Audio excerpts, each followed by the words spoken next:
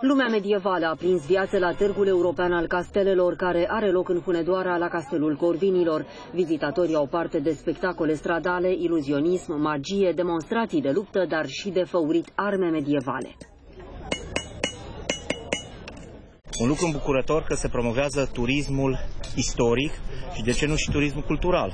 Foarte interesant și foarte util pentru cei, mai ales pentru noi care călătorim foarte mult.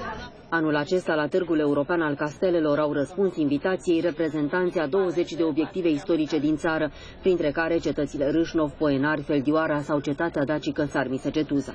Pentru noi este o ocazie să ne pro promovăm uh, cetatea de la Mălești către cât mai mulți uh, turiști. Suntem recunoscători organizatorilor.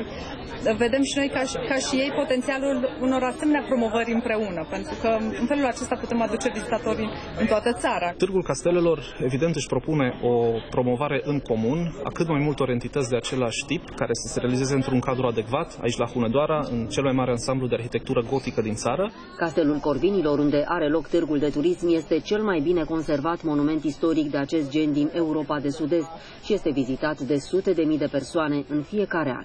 Pentru Hunedoara de trei ori vivat! Vivat! Vivat! Vivat!